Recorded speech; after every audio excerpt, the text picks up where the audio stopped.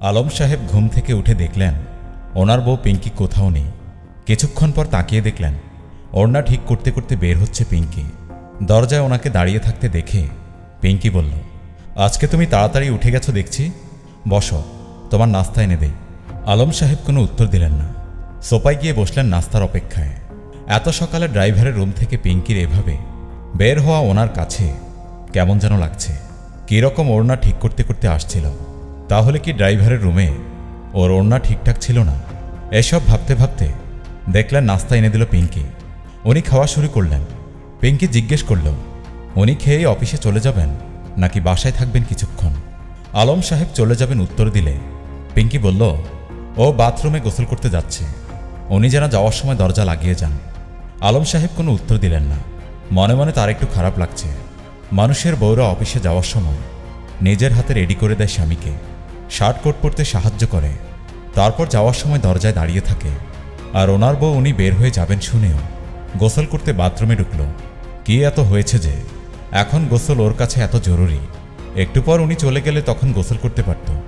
বেশ ত্রিশ মিনিটেরই তো ব্যাপার। আলম সাহেব নিজের ভেতর। খারাপ লাগা নিয়ে বাসা থেকে বের হলেন অফিসের উদ্দেশ্যে। উনি শহরের একজন বড় ব্যবসায়ী। গাড়ি বাড়ি, টাকা পয়সা, কোনো কিছুরই অভাব নেই। শুধু মনের সুখটা এখনও নেই। আলম সাহেবের। টাকা পয়সা কামাতে কামাতে বিয়ের জন্য ভাবার সুযোগ পাননি প্রথমে। পিঙ্কিকে যখন বিয়ে করেন, তখন ওনার মাঝ বয়স হয়ে গেছে। তবুও গরিব ঘরের এই কম বয়সী মেয়েকে বউ হিসেবে পেয়ে ভেবেছিলেন, এবার সুখী হবেন। কিন্তু যতদিন যাচ্ছে, মনে মনে হতাশ হচ্ছেন আলম সাহেব। বিয়ের কিছুদিন পর পুরনো ড্রাইভারের নেচার ভালো না বলে তাকে তাড়িয়ে দিল পিঙ্কি।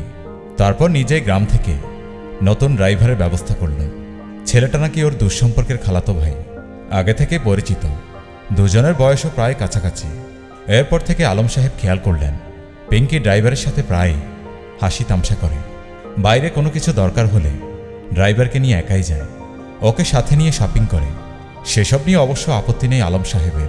বাইরে যেতেই পারে বউ। ড্রাইভারকে নিয়ে শপিংয়ে যাওয়া দোষের কিছু না। তবে আলম সাহেবের খারাপ লাগা অন্য জায়গায়।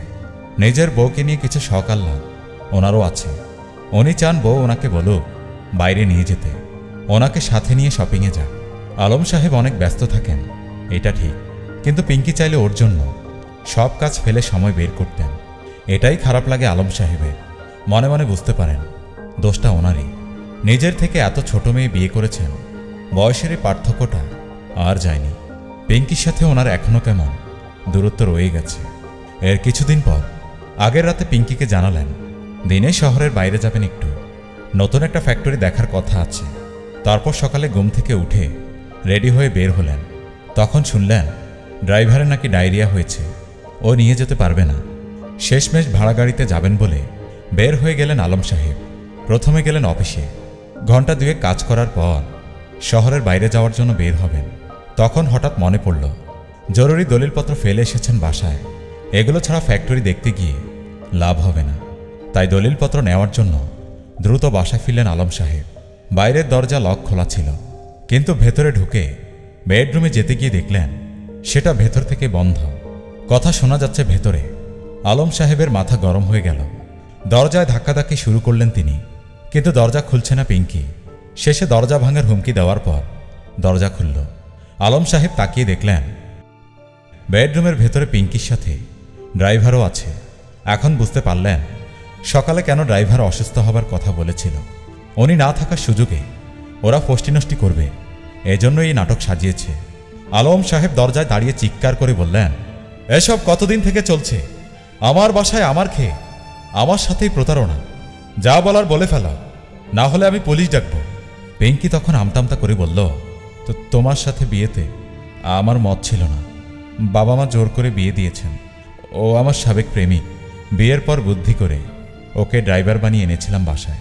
ভেবেছিলাম তোমার টাকা আর ওর ভালোবাসা নিয়ে সুখে থাকব আমি। তোমার কথা ভাবিনি। আমাকে ক্ষমা করে দাও দয়া করে। এসব কথা শুনে আলম সাহেবের মাথায় আগুন চড়ে গেল। ইচ্ছে করছিল দুজনকে ধরে কিছু একটা করে ফেলবেন।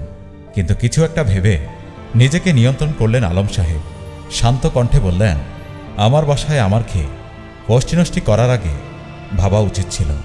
তোমরা এখনই এই মুহূর্তে দুজন বের হয়ে যাও আমার বাসা থেকে। আর কখনো তোমাদের চেহারা দেখতে চাই না আমি। বের হও, না হলে পুলিশ ডাকতে বাধ্য হব। আলম সাহেবের কথা শুনে পিঙ্কি আর ড্রাইভার মুখ চাওয়াচাই করল। তারপর আস্তে আস্তে দুজন হাত ধরাধরি করে বের হয়ে গেল বাসা থেকে। আলম সাহেব বিছানায় বসে পড়লেন। শরীর যেন ভেঙে পড়ছে ওনার। এতদিন নিজের বাসাতে এসব চলছিল, তিনি ভাবতেও পারেননি কখনো। এখন ওরা যেখানে ইচ্ছা গিয়ে ফষ্টি নষ্টি করুক। ওনার কিছু যায় আসে না।